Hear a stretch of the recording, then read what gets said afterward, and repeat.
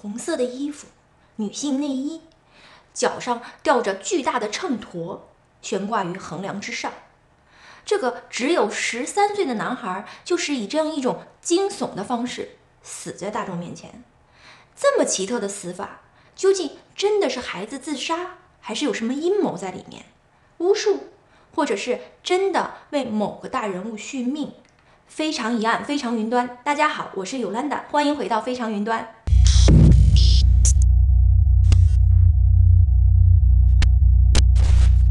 二零零九年十一月五日中午十二点左右，农民工匡继禄回到他位于巴南区东泉镇双星村的家中。原本上周末他的儿子匡志军应该去工地和他拿生活费，但是上周末孩子突然打过来电话说不来取钱了，要回乡下老屋去。匡志军属于留守儿童，十三岁，他还在上小学，平时住在东泉小学隔壁村的一个小平房里。这么小的孩子就独自居住，这的确是留守儿童的悲哀。他每周和父母取钱用于吃饭，就这样一个被疏于照顾的孩子，可以想象他的生活应该是挺糟糕的。这次原本要过来取伙食费的孩子没有出现，而随后的几天音信全无。他的父亲匡继禄决定亲自给孩子送回去。回到家中，匡继禄发现前门从里面反锁了，叫门也没人理。这样一来，他不得不从后门进屋了。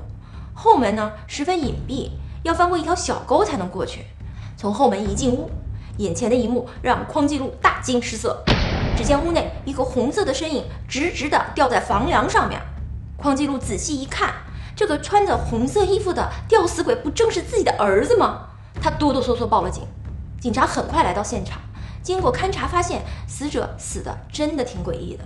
死者匡志军双手双脚均被绳索捆绑，脚上还吊着一个大秤砣。屋里的床上还放着半截燃烧过的蜡烛，一个打火机放在旁边。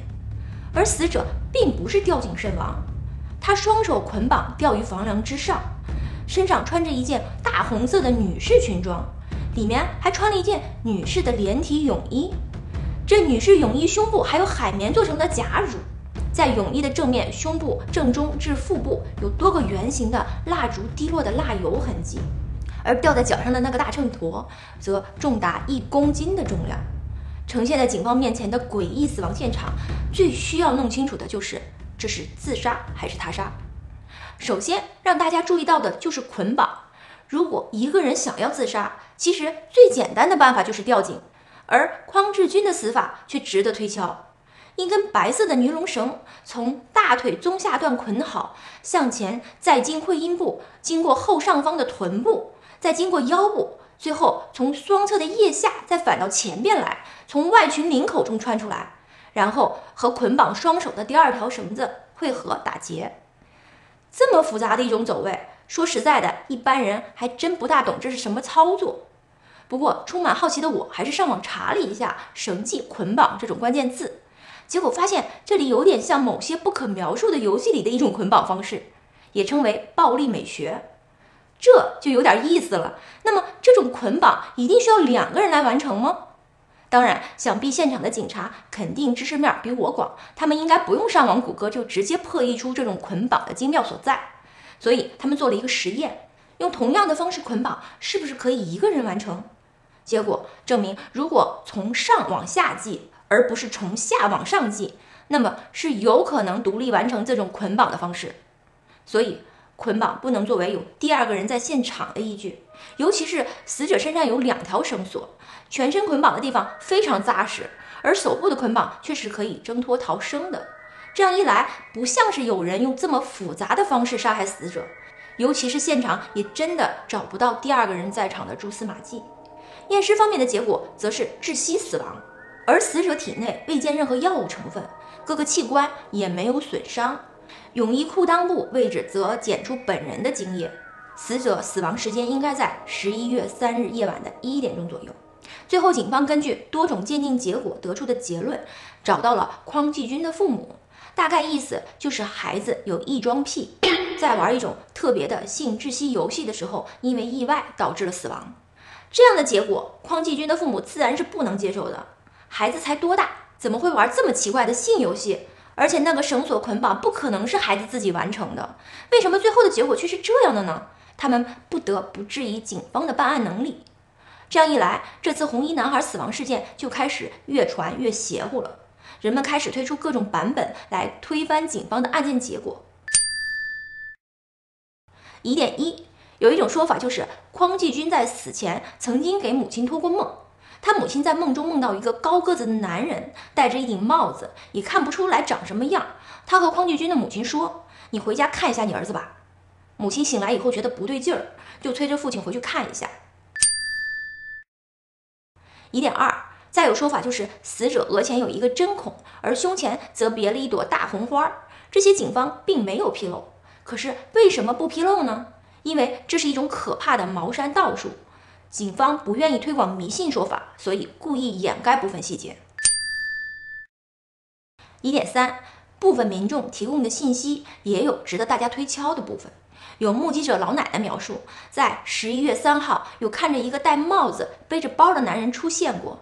至于老奶奶形容的大包，里面是足以可以放得下绳索、秤砣、女装等等现场所有出现过的东西的。而戴帽子这件事儿，不由让人们联想到了匡继军妈妈做的那个梦。疑点四，警方给出的结案依据是科学检测现场无第二人痕迹。解剖之后也没有发现孩子身上有任何的内伤或者外伤等等，这证明孩子没有反抗过。而死亡时间则定为十一月三日，也就是星期二。那么原本应该在十月三十号就拿到钱的匡继军，并没有钱吃饭，他自己一个人在家里生活了三到四天才死亡。他不可能不吃东西，而家里除了一包没有吃完的方便面，似乎找不到这三四天吃过的东西。一个不吃东西的人，只有一种可能，就是他吃不了。所以，除非有人绑着他。基于上面的种种疑点显示，人们不太信服警方的自杀理论。很多声音提出，这很明显就是他杀，而且是一种凌辱一般的杀戮。为什么要用这么复杂的方式进行一次杀戮？这里有太多的声音提出了不同的推断。但是最最多的传说，则是一种巫术，就是茅山之术。这种巫术其实挺复杂的。据说在时间上，凶手必须选择最阴的一天，而被害者死状必须集齐了金木水火土五行，秤砣为金，房梁为木，泳衣为水，红衣为火，地面为土，外加头顶有针眼。而匡继军就是被选中的拥有特别命格的人选，因为他死的这一天正好十三岁零十三天。使用这么深的巫术手法，很明显是在提取一个人的极品精魄，为了某些人的修炼而使用。凶手为什么会给男孩子穿上红裙，挂上秤砣？那就是要先打散他的魂魄，让他的散魂无法远游，只能在死者附近徘徊，然后用分魂针从前额下针，分散死者其他的魂魄，再把提炼出来的阳魄从胸前的红花引出。按照这种说法，就是凶手先锁魂，再泄魂，最后再提取精魂。红衣男孩的死亡事件就这样被越来越邪乎的说法充斥，甚至有群众质疑警方如此草草结案，难道这里面会有官方的人参与这种取魂修炼的活动吗？当然，人类通病，即使一旦某件事儿被多人提到，甚至传说，将会变得越来越真。这样一来，警方不得不出来辟谣，也给出了大量关于变态心理学方面的性窒息的解释。刚刚开始有性意识的孩子，他们在心理不健全的状况下，容易迷恋一种变态的性快感，而性窒息则可以理解为喜欢低血氧的一种癖好。换个通俗的说法，就是用窒息晕眩的感觉来达到性高潮的快感。警方甚至提出来，网上大量人提出来的关于匡继军母亲的梦和额前的针孔、胸前的大红花，都是子虚乌有。匡继军的父母虽然一开始对于结果有着疑问，也曾经请过律师仔细了解过，但是他们还是本着一个家丑不可外扬，希望事态不要继续发展下去的态度。没有父母愿意消费自己已经死去的孩子，尤其是独生儿子。而所有巫术之说，都是一些别有用心的人为了哗众取宠、博取关注的手段。其实故事到了这里，我个人对于网上关于取魂之说也是不太认可的。毕竟有点太悬了。不管这个世界上有多少神秘不可解释的现象发生过，但是神秘不等于是迷信。